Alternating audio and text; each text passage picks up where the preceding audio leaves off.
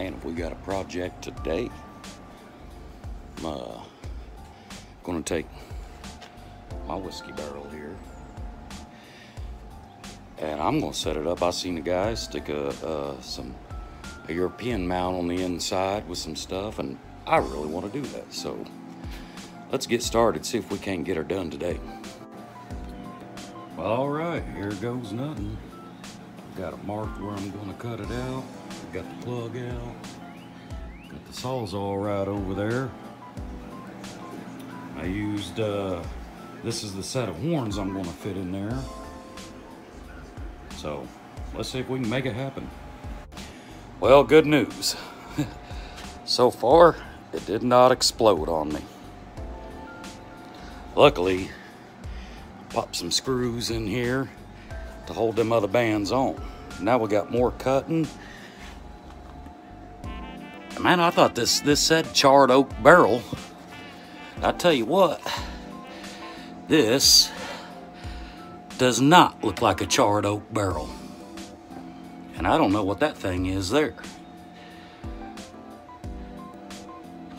Smells good though. It is oak, I can tell you that. I can smell it. And just like that, look at that hair, that's awesome. We have charred the inside of this barrel. Okay, so we didn't actually char it. We left all that, I left all that junk in there and then just hit it with some cheap spray paint. But, looks pretty good. Woo, now we're moving on to the staining the outside part. You can see I've already got this top in between the bands there stained. Got the rest to do. But notice I am not sanding.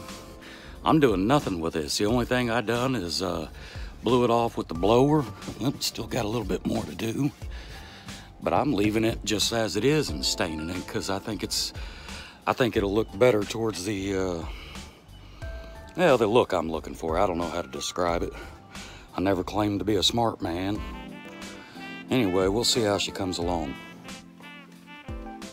Well, and right here, we've got the finished project. I think what I need to do is come in and take two more slats off the sides and make it a little bit wider. But I really do like how it came out.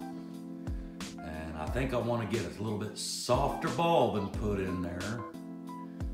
Uh, let's see, I don't know if I don't know if that'll turn out right or not. I don't know if y'all can see that.